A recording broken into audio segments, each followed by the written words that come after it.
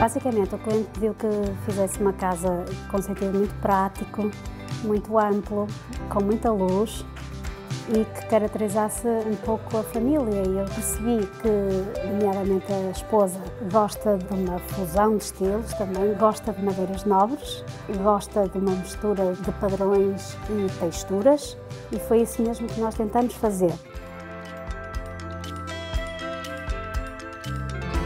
As filhas frequentam música desde sempre, têm uma sala própria só para o efeito e a equitação, porque as filhas também frequentam a equitação desde pequeninas, desde miúdas, e é um gosto que está presente na família, que, que é para, para durar.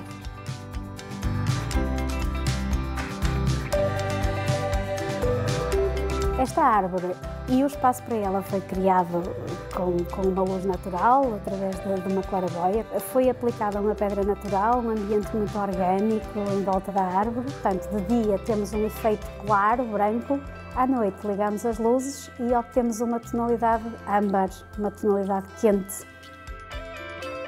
Criamos uma sala específica só para convívio. Queria-se criar aqui um elemento de conforto que não fosse uma lareira tradicional.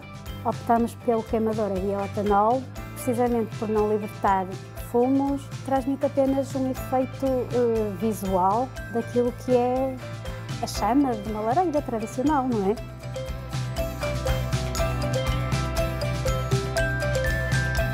Nós entramos, digamos, na vida das pessoas. Os clientes por vezes dizem que nós concretizamos os sonhos.